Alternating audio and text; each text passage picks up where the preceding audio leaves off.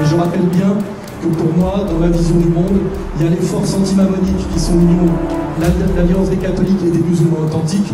Et il suffit de visiter le Qatar pour savoir que ce n'est pas une terre d'islam, c'est un supermarché et une américaine.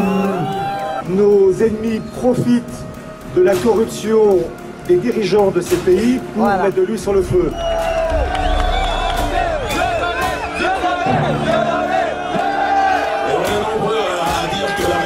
C'est vous, c'est nous, on est là dans la rue, et croyez-moi bien que nous sommes en fait extrêmement nombreux. Évidemment, euh, le rapport de force est inégal encore aujourd'hui, mais euh, si on est nombreux à partager cette, euh, cette révolution, plus, plus, on sera nombreux évidemment, et plus on, ensemble, de victoire en victoire, on gagnera.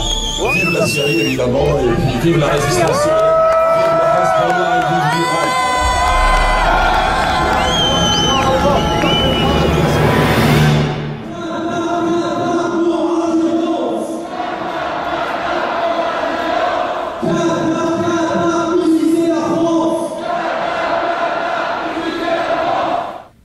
Ben, le Qatar déjà n'est pas un pays. Le Qatar n'existe pas.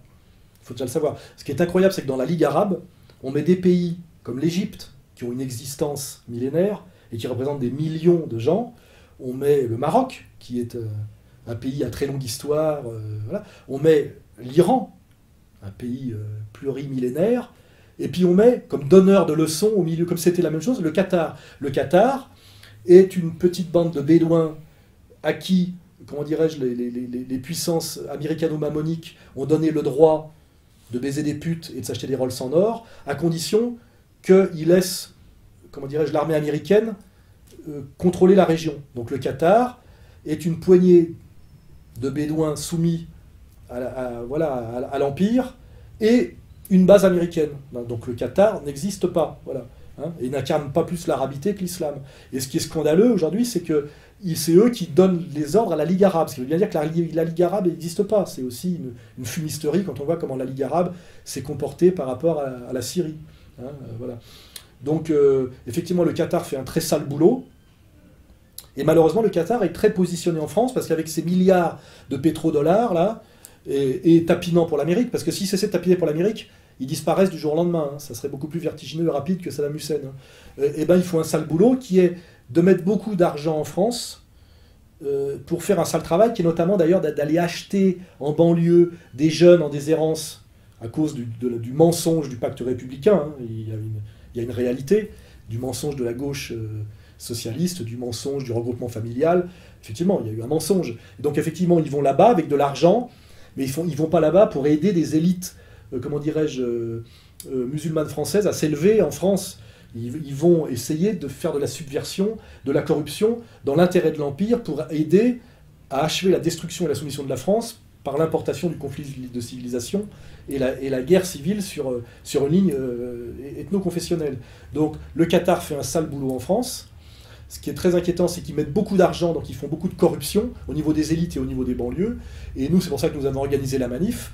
Voilà le, les Qataris euh, sont pour nous des gens dont nous devons nous méfier et nous essayons d'alerter les jeunes de banlieue fragilisés euh, aux sirènes de la séduction par l'argent du Qatar. Il ne sortira rien de bon de tout ça pour eux et pour la France, c'est une évidence. Hein. Et il suffit à la limite de voir ce que c'est que le Qatar, d'y aller pour voir que c'est c'est infernal. C'est-à-dire que là, voilà, on est dans un pays infernal, au sens effectivement, de, comme le dit Sheikh Imran Hossein, d'un monde régi par Satan. C'est-à-dire une poignée de milliardaires avec une, euh, comment dirais-je, une constitution euh, où les, gens qui travaillent n'ont aucun droit, des gens réduits pratiquement à l'esclavage, euh, souvent des immigrés, des touristes cosmopolites venant faire du shopping dans des, dans des, dans des énormes centres commerciaux avec des tours. Enfin, c'est le Qatar est tout est anti-civilisationnel. Hein, c'est de la merde. Et ce genre normalement de pays ont vocation si notamment d'ailleurs euh, nous retrouvions le sens du sacré, de l'équilibre, et je dirais même de la, de la, de de la cohérence cosmique, ce sont des anti-pays et des non-pays qui normalement doivent disparaître. C'est-à-dire, je le dis bien même, si je voulais m'appuyer sur l'islam, si normalement euh, le règne de Dieu revient sur terre, le Qatar doit, doit s'embraser immédiatement et disparaître. C'est voilà, c'est une émanation satanique et c'est un anti-pays. Donc je le redis, le Qatar n'existe pas. Hein. Et donc on n'a rien à faire avec des gens qui en réalité n'existent pas, hein, qui n'existent que parce que Satan les, instrumentalise et les anime. Hein, voilà, Satan et Mammon, voilà, c'est clair. Donc euh, euh, nous nous opposons, nous, tout en tendant la main aux musulmans en France, aux ingérences du Qatar en France, et nous le disons clairement, comme nous nous opposons effectivement aux, ingérences de l'Arabie saoudite, et nous disons bien que le Qatar et l'Arabie saoudite incarnent ce que j'ai bien écrit dans mon livre Comprendre l'Empire, ce qu'on appelle l'islamo-sionisme, hein, qui est un mot qui résonne fort, et qu'effectivement cet islamo-sionisme aujourd'hui essaye de prendre le contrôle des islamo, ce que j'appelle les islamo-racailles, hein, parce que c'est comme ça que ça s'appelle, hein, voilà, c'est pas un blasphème, voilà, et que cette jonction euh, islamo-sioniste des pétrodollars essayant de manipuler les islamo-racailles est, est, un très mauvais coup, euh, comment dirais-je, pour la France et aussi pour les Français musulmans.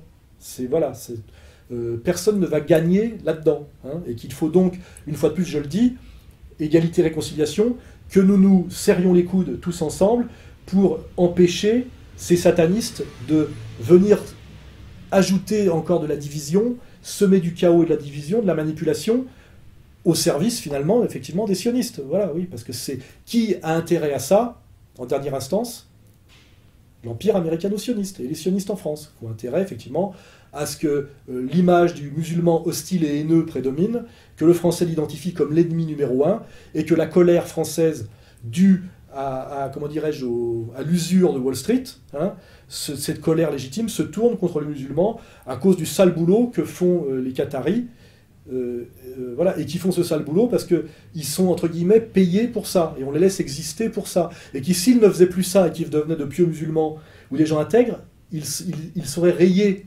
instantanément de la carte de l'histoire par leur mandant. Et que de toute façon, voilà, je veux dire, euh, s'ils se comportent bien, ils disparaissent.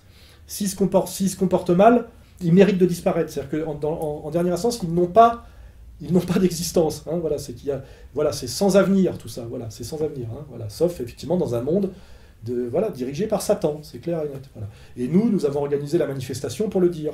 Et ce n'est pas, comment dirais-je, euh, un commentaire sur l'islam. Hein c'est un commentaire sur la manière dont, certains musulmans se font manipuler par des gens qui prétendent incarner l'islam, mais qui est, je dirais, un dévoiement politique de l'islam. Voilà, voilà c'est tout. Donc je, voilà, et ce constat est une évidence pour tous les musulmans honnêtes et pour tous les géopoliticiens formés et pour tous les, gens qui résistent honnêtement à l'empire américain et américano-sioniste. Voilà.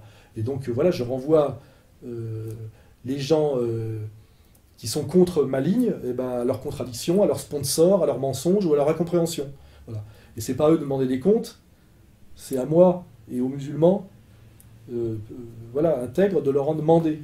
Et, je pense que de toute façon, sur la distance, la vérité, comme toujours, triomphera. Le problème, c'est que la vérité triomphe toujours avec un temps de retard.